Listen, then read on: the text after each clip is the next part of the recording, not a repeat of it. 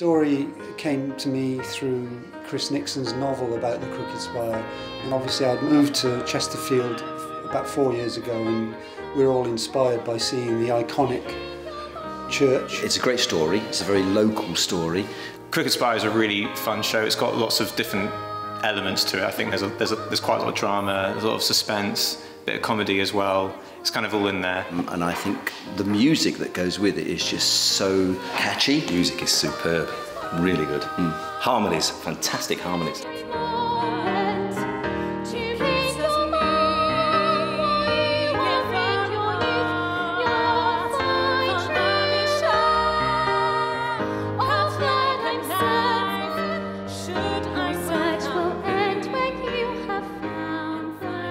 Uh, the murder mystery is a fun aspect to work with, and I've been given the privilege of adding in lots of extra bits of music that I think will hopefully add to the atmosphere, that, and therefore people will enjoy that.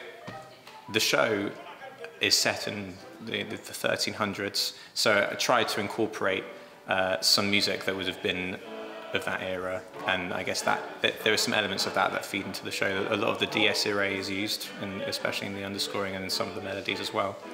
Um, and yeah, I think that helps create the sort of churchy and medieval setting of the show. It's been really exciting to bring about the sense of community that the cast have, and also the community that the characters have as well. They are lived experiences and they are people that you can empathize with and i wanted to get that across in the props that they use as well so they have things like baskets and they have wooden hammers and they have all of these industrial tools that you can see even now.